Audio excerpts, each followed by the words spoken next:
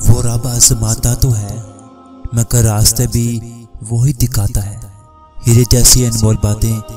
मजीद video के लिए channel को ज़रूर सब्सक्राइब कर लें और साथ बेल आइकन को भी लाजमी प्रेस कर दें, ताकि हमारी रोज़ाना की वीडियो आपको मिलती रहे। हम खुदा की ज़मीन पर खुदा का निज़ाम तो चाहते हैं, लेकिन खुदा के दिए हुए वजूद पर आज तक खुदा के अहकाम लागू न कर सके।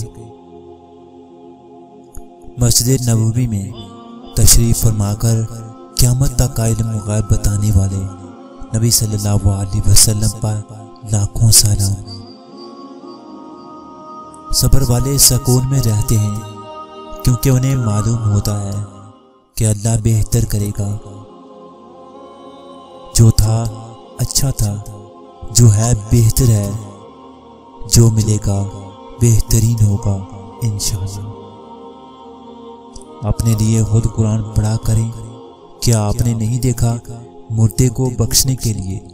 अब कम ही किसी के पास टाइम होता है। उन लोगों को कभी ना भूलना जिन्होंने ज़रूरत के वक्त तुम्हारा साथ दिया हो।